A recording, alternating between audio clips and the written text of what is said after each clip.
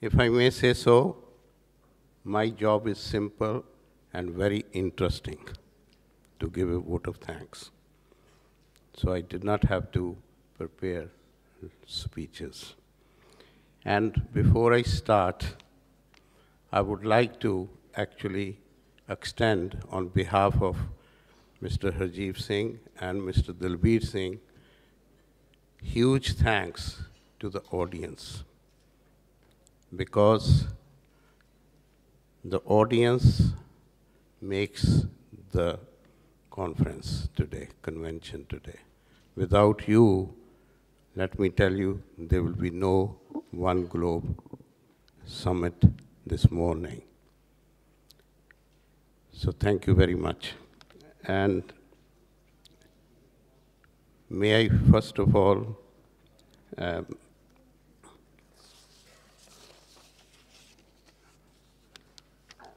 welcome Honorable Minister Shri Rao Inderjeet Singh, Member of Parliament Shri Member of Parliament, Mr. Shalabh Kumar, Dr. Mukesh Aghi,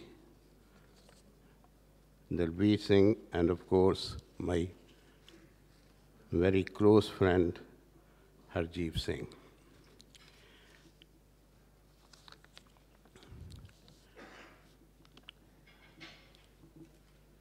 I would like to acknowledge Minister Shri Rao Indrajit Singh, who has taken time out of his busy schedule, and I know, being in the parliament, that how time is valuable to the government members. So thank you very much indeed for your help to us today. And I must say, your speech was very interesting. You talked about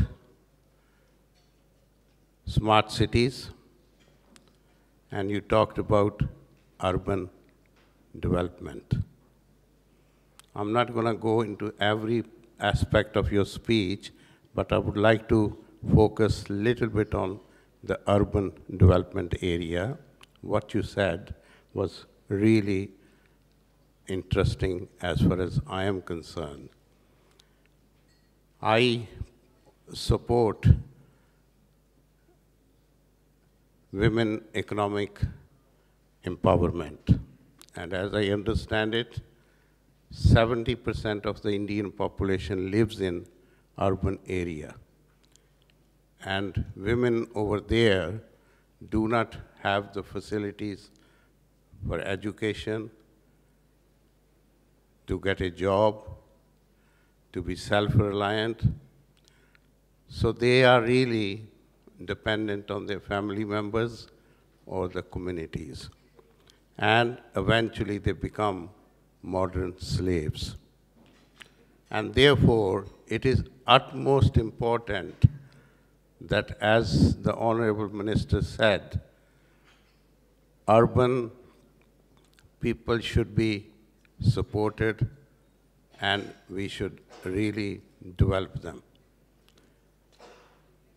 In my opinion, while we are making 100 smart cities, which is a very good project set up by the Honorable Prime Minister Modi, we should make the villages functional, at least.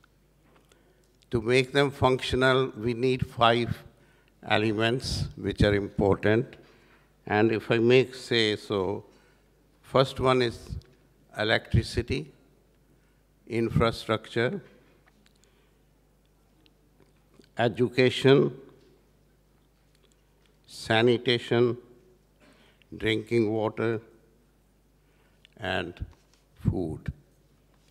So as you are involved with the urban development, I would urge you to look at the areas which I have mentioned and see how you can also help urban development side by side with the smart cities.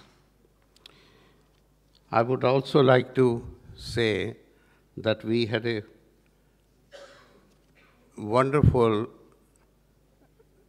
talk from Mr. Shalabh Kumar about America, about the relationship of America with India, and of course, about Trump himself. I met Mr. Kumar exactly three years ago, which was quite coincidental because we both were present at Mr. Modi's inauguration ceremony at the Rashtrapati Bhavan.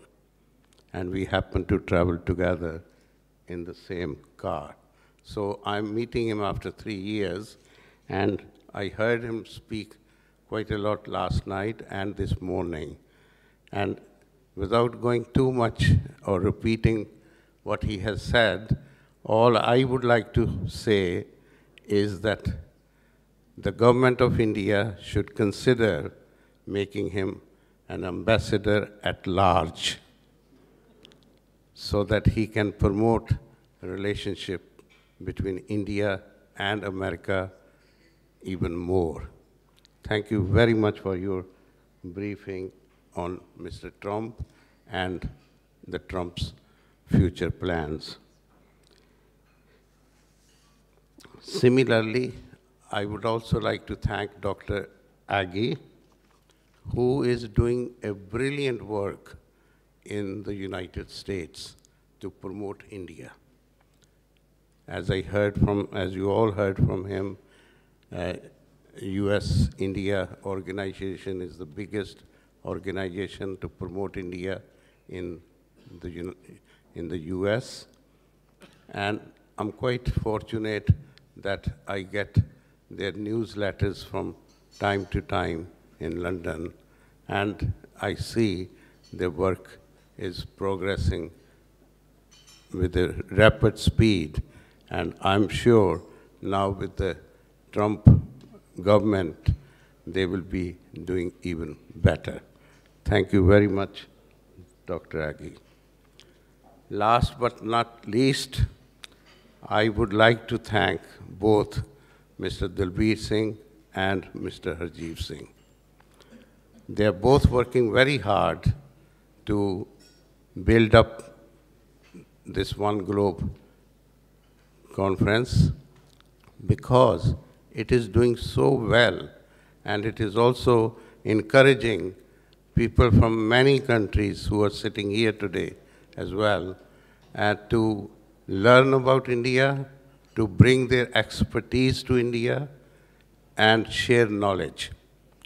Knowledge is the main thing at the moment, uh, you know, to educate our future generations. Harjiv, in particular, is a friend of mine for the last 10 to 12 years, and he is also a trustee of the Loomba Foundation. I would like to just touch the Loomba Foundation briefly for the benefit of the Honorable Minister. The Loomba Foundation is educating children of poor widows and empowering widows in urban areas. And that is why I wanted to touch this area. There are 46 million widows and over 100 million children in India alone, and they are neglected. They may be getting a pension from the government, but some of them don't even receive it, and the people who receive it is not sufficient. In some states, it's 300 rupees a month. In some states, it's 500 rupees a month. In some states, it's 700 rupees a month. You tell me in the 21st century, what can a widow with two or three children do with that sort of amount? So therefore, I have actually been very fortunate that my project in Varanasi last year for 5,000 widows whom we are training in tailoring and giving sewing machines so that they can become self um, sufficient. to educate their children and look after their family member and live with their dignity, um, that the Prime Minister himself launched the project. So we were very honored, and I believe that there is a lot more to be done for widows in this country. The UN has recognized the plight of widows, which had been neglected for many, many years. Um, although I said India has 46 million widows, there are 259 million widows across the world, which was proved by World Widow Report, a copy of which was presented to the Honorable Prime Minister here and the UN Secretary General Ban Ki-moon in the US. So not going too much into the problem, although I wanted to highlight that problem, and I want to thank my friend Harjiv Singh for helping us. He's a trustee of the charity, and is one of the reasons I specially flew in yesterday to attend this uh, conference because it gives me great pleasure to see his wonderful work. Thank you.